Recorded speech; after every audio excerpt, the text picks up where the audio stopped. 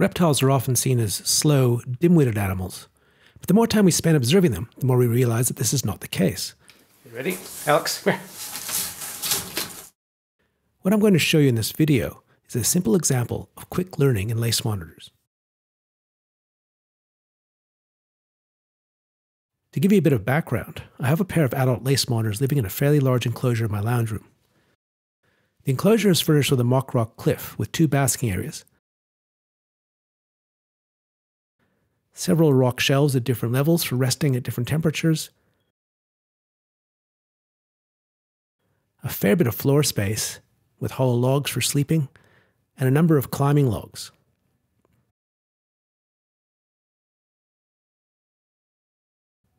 The monitors can get plenty of exercise within the enclosure, but as they are intelligent animals and curious about the outside world, allowing them out to explore is good for enrichment.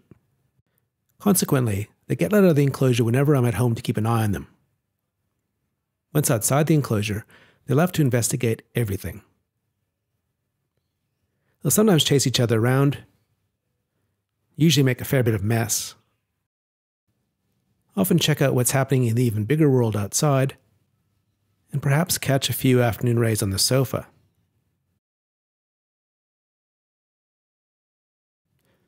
Early on, I decided that if we're going to be let out on a regular basis, we should establish a few rules for how they get let out of the enclosure.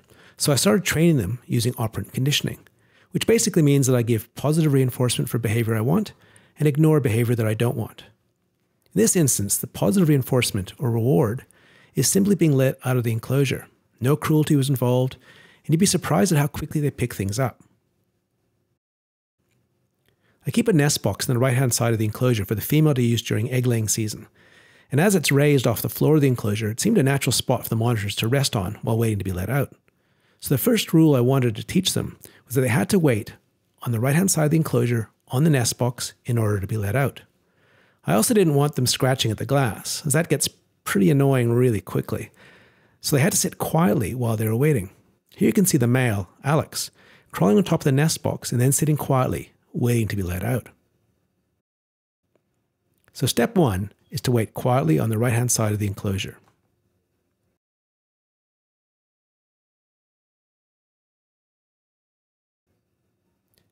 Step two is a bit trickier. To get them out of the enclosure, I get them to climb onto my hand so that I can lift them up. What I wanted to train them to do was to put their left arm between my thumb and forefinger so that I could grab their arm, making it easier to lift them out. Here's an example of step two showing Alex putting his arm right into my hand. Step three is the reinforcement or reward, which is me lifting them out of the enclosure and putting them on the floor. The training for this was almost accidental. I started off by simply putting my hand in a position such that it was only natural they'd climb onto it with the correct arm. In training terms, this is known as capturing a natural behavior. Over time, I slowly modified this behavior by moving my hand further and further away, so they eventually had to intentionally reach for it. The consistency with which they usually perform this action is really impressive.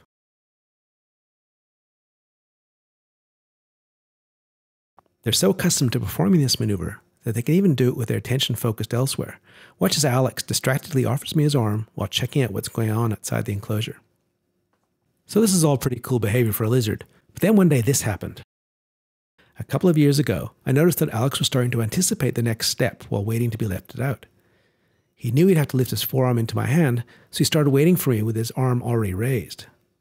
This is an unusual behavior for a monitor lizard. It's not a normal position for them to rest in.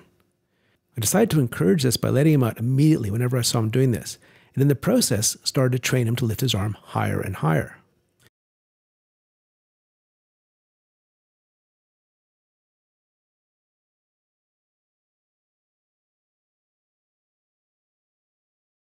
Then one day I saw him doing a small wave with his arm, anticipating the movement of offering me his arm to be let out. Again, I encouraged this by rewarding this behavior by letting him out of the enclosure immediately, and gradually shaped the behavior so his waves got higher and higher, until eventually he was doing a bit of a high five.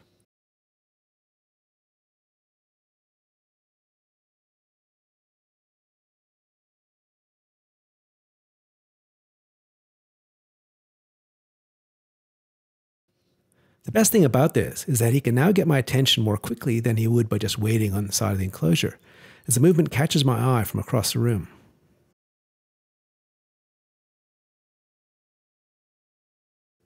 What I'm working on now is seeing if I can train him to do this on cue with simple hand movements.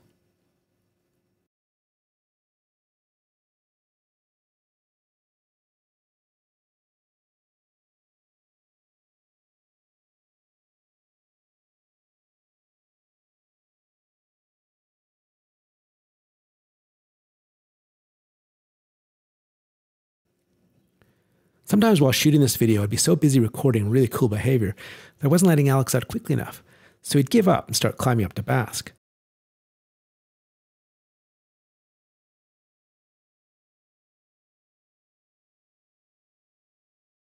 I'd feel really badly about this and try to get him onto my hand when he was halfway up the log. And what is particularly interesting about this is that the change of context doesn't seem to affect his understanding of the required behavior. So he'll still climb onto the familiar glove, even when he is not on top of the nest box. That was just a small demonstration of the learning ability of reptiles. The next time you see a reptile, keep in mind that there may be more going on inside its head than you realize. Alex?